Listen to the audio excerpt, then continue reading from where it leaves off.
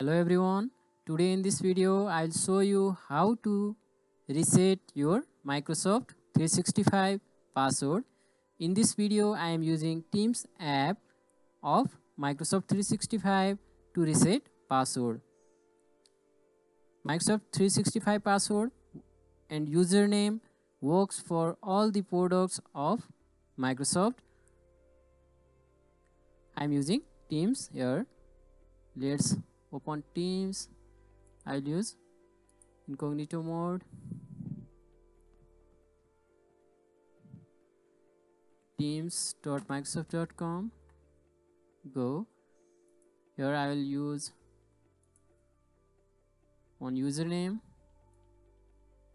next here you can see forgot my password option though I have password here I'll use this to show demo on how to reset.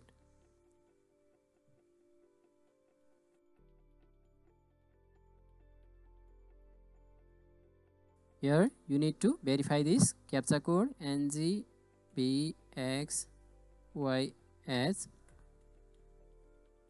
next. Verification step 1 choose new password.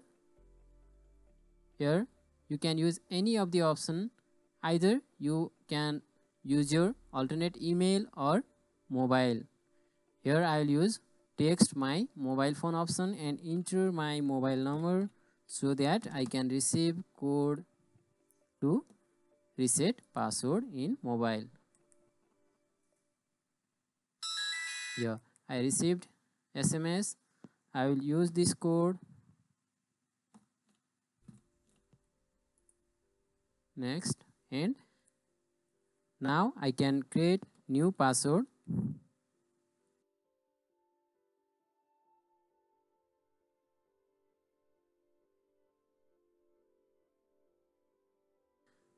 Now I have successfully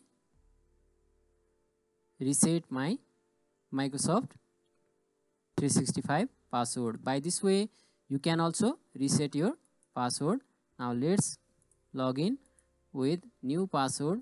If I try to log in with previous password it won't work. Let's see here. The account password is incorrect. If you don't remember your password reset it now. Now I will use new password I have recently changed changed.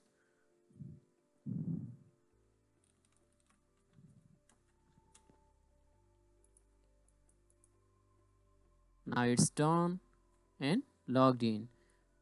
By this way you can also change your Microsoft 365 password